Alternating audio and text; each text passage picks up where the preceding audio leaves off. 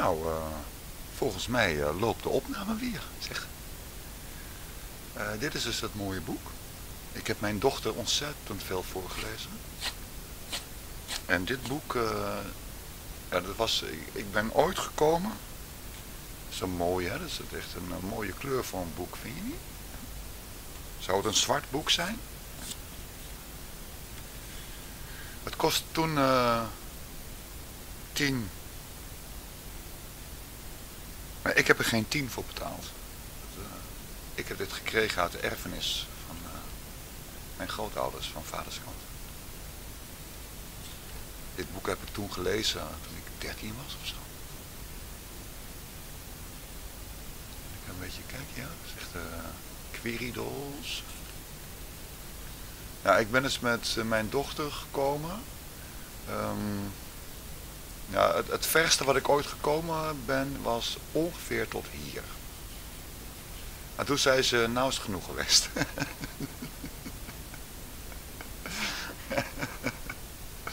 en, en, besef wel, hè, dat, bedoel, zij heeft uh, de Terminator 1 tot en met 3 gezien. Uh, de Matrix 1 tot en met 3. Ze kijkt de Game of Thrones. Uh, Hannibal, uh, alles wat maar te maken heeft met psychopathie en seriemoordenaars. Vindt ze allemaal geweldig. Maar hier kan ze niet tegen. In ieder geval in die tijd niet. En tegenwoordig kijkt ze YouTube films. Dus, uh. in mijn tijd dat ik haar kon voorlezen en haar kon mindcontrollen. Van, shut up, you bitch luisteren. Er is voorbij. Dus ik, kan daar niet meer voorlezen. Vind ik ook niet erg. Dan lees ik het nu voor aan jullie, toch? Dat maakt mij het uit. Het is een heel mooi boek. En we waren gebleven de vorige keer hier.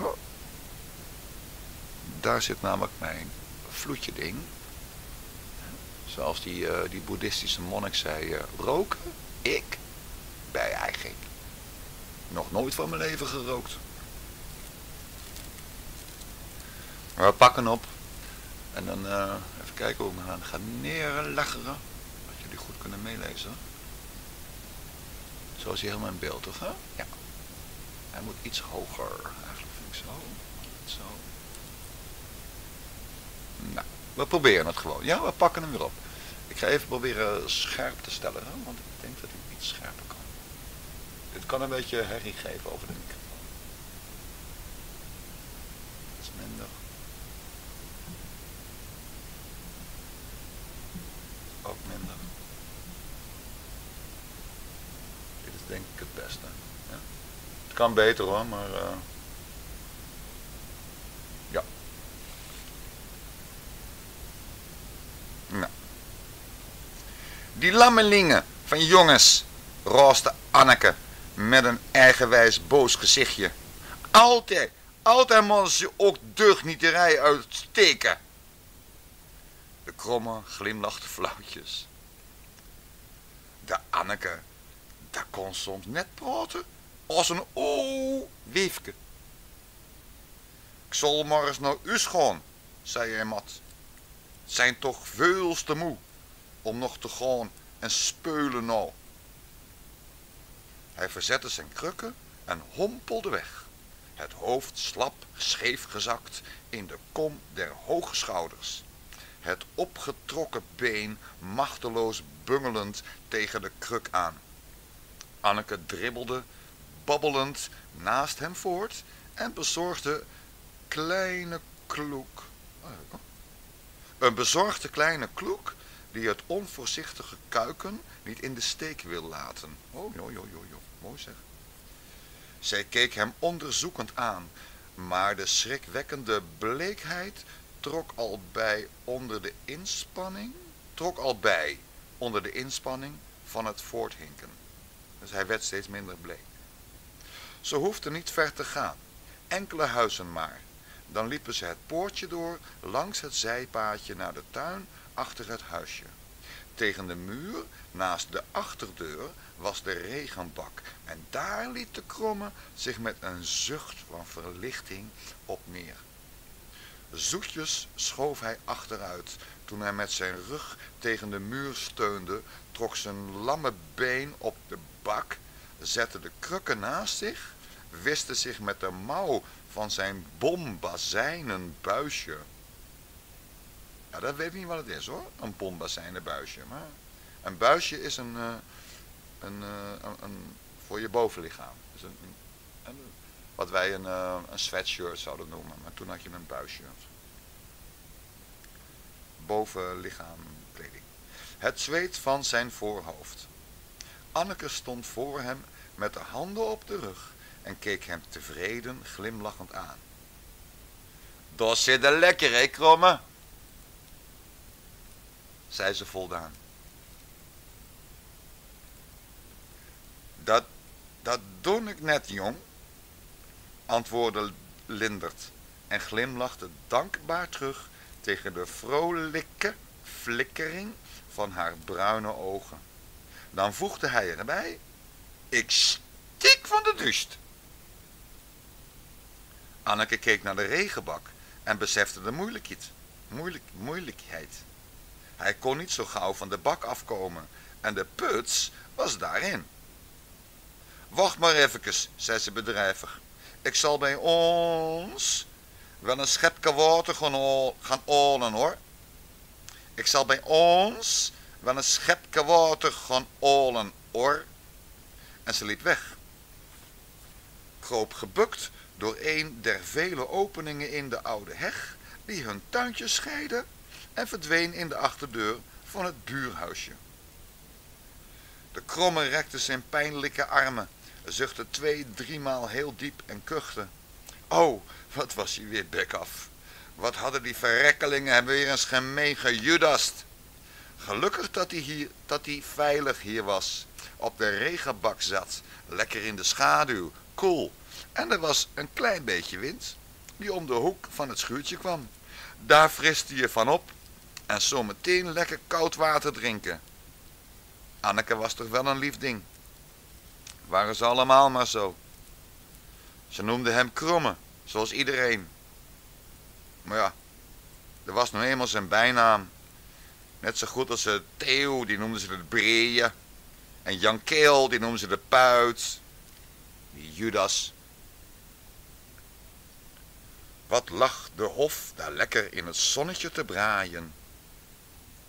De duizend schoontjes, dat zijn bloemetjes. En de vloksen, dat zullen ook wel bloemetjes zijn, bloeiden prachtig. En die mooie goud-oranje oranje mutsjes, portelakken noemden ze die. Een rare naam, maar wat een fijne glanzende bloemetjes waren dat.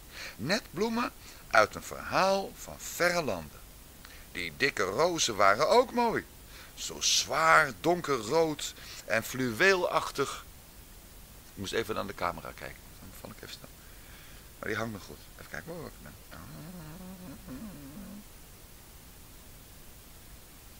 fluweelachtig tussen het donkere groen van de doffe bladeren, blaren en de fuchsia's met hun bengelende klokjes, rood met een blauw-zwart hartje, waar de lange meeldraden als slangentongetjes uitflitsten.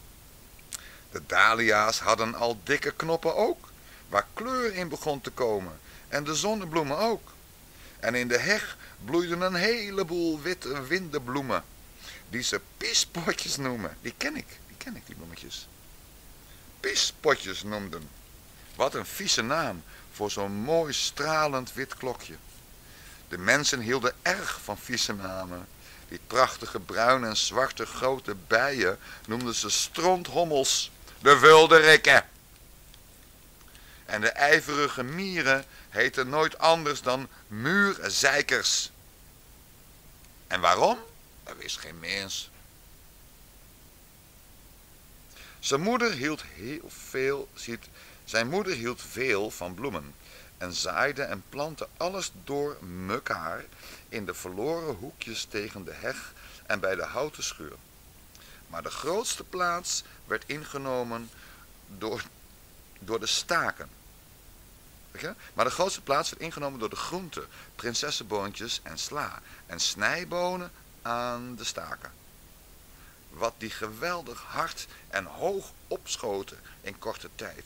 Je zag ze haast groeien. En daarachteraan stonden de knolrapen, de andijvie en de koolplanten, witte en rode, safooien en boerenkool en spruitjes.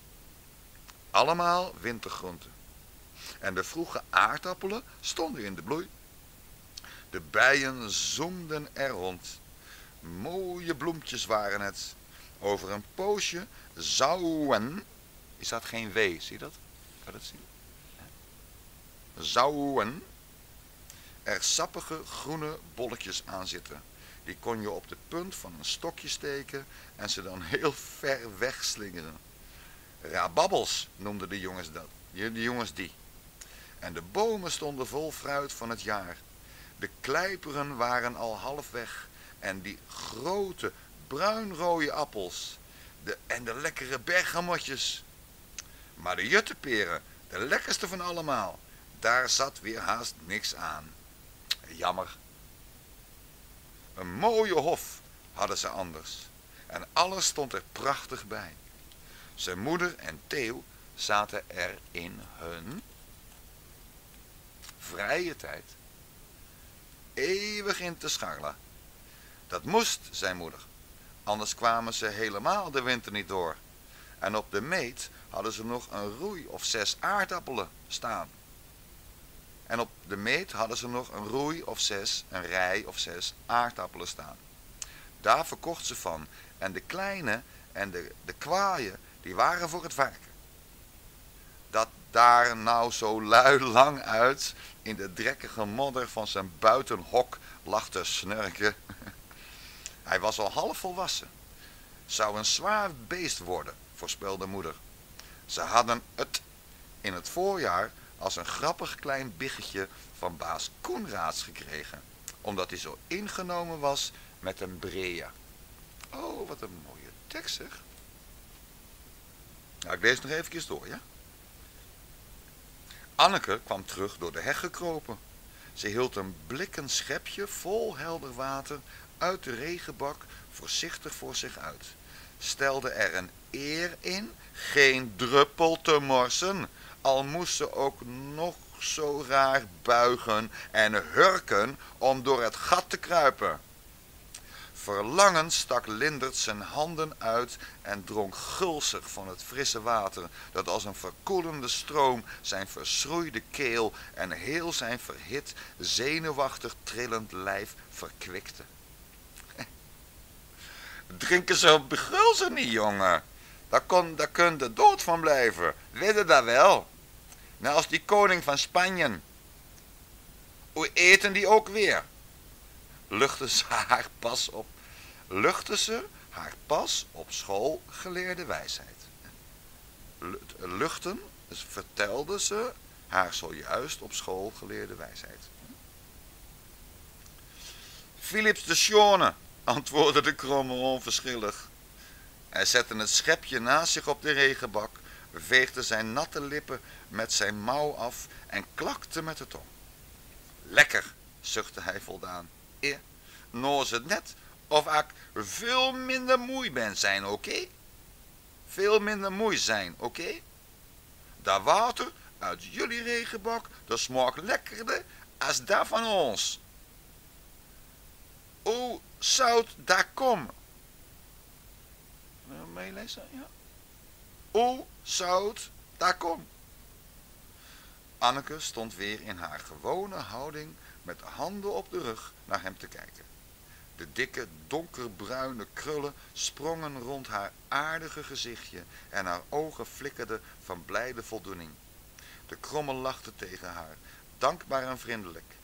Ze keek aandachtig naar zijn weer verbleekt gezicht met de grote donkere ogen, het roetzwarte springende haar over zijn blank voorhoofd, de lachende rode mond met de witte tanden en ze sprak zonder aarzelen haar verwondering uit. Gezet glad niet lelijk, kromme. Je gezicht, meen ik. Wat hier staat, uh, gezet glad, niet lelijk. Uh, glad, dat is helemaal. Gezet helemaal, niet lelijk, kromme. Je gezicht meen ik. Mijn ich. Dat is een beetje Duits. Hè? De lach gleed weg uit Linderts gezicht en een bittere trek van zelfspot vertrok zijn smalle lippen bij de twijfelachtige lof van het vriendinnetje. Nee ja, hoonde hij schamper. Ik zei niet lelijk, ikke. Ik lijk wel een krotus, met mijn bult en mijn kromme poot. Nee lelijk. Die honden die blaffen muon op straat. De honden blaffen mij aan op straat. Die honden blaffen mij aan op straat. Zo mooi zijn ik. dat, is, dat ik, maar dat is gewoon... Zo mooi zijn ik. Geoef me niks wijs te maken hoor. Anneke werd rood tot achter haar oren. Ze had het toch zo goed bedoeld. Och, gij pop, stotterde ze, stotterde ze geërgerd. Zo, zo meende ik het ommers niet. Maar gewezenlijk een lief gezicht, ge, maar, maar geërwezenlijk, maar geërwezenlijk een lief gezicht. Krommen, ach zo lacht, Nestor net, net als daarnet. Een lief gezicht, hij, dat wist hij wel beter. Er was in hem niks liefs, niks moois.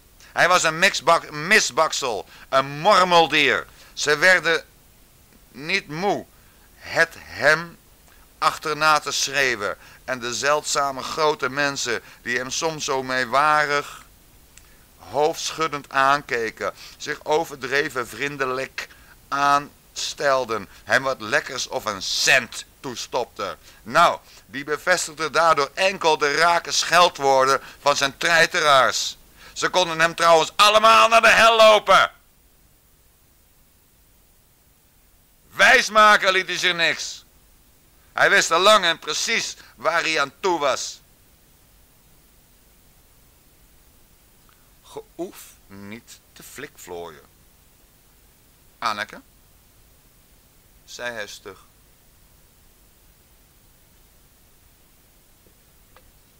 Zijn zo lelijk als de nacht.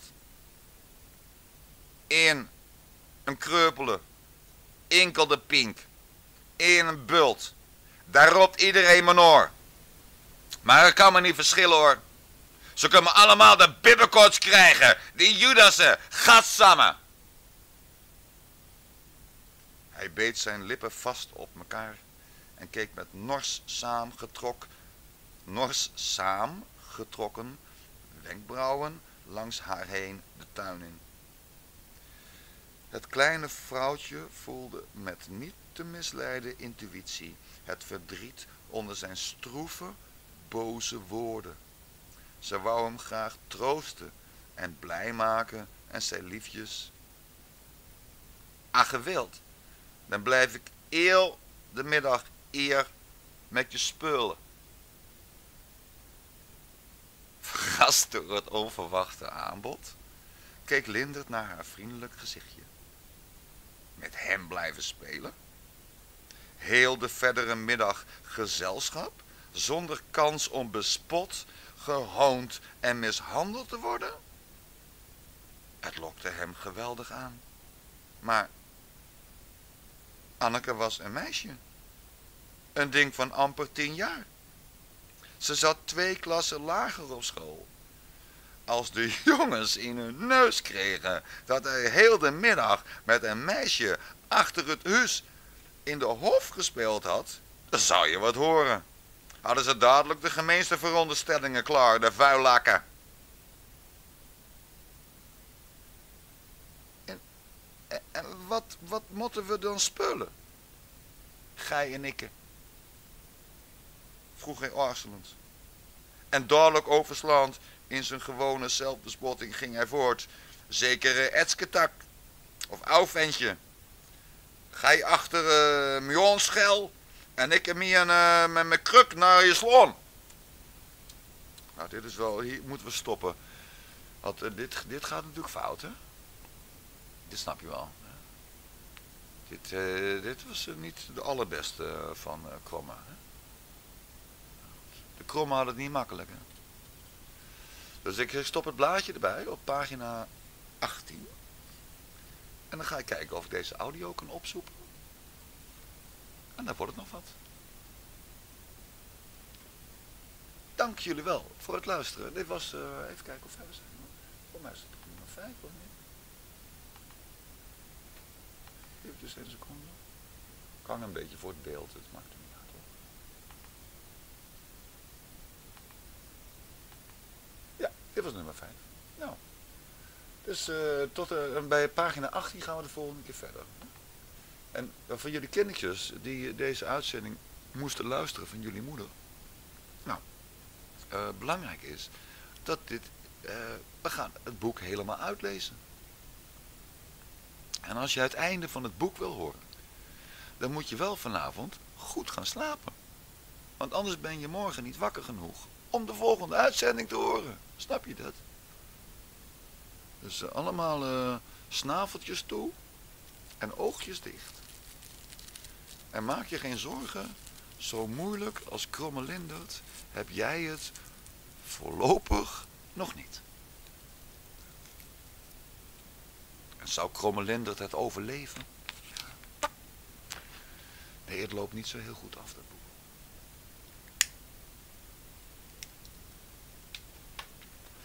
Kromme Lindert heeft al geleefd. Ja. Kromme Lindert is al boos geweest. Kromme Lindert heeft al van alles gedaan. Dus dat komt goed.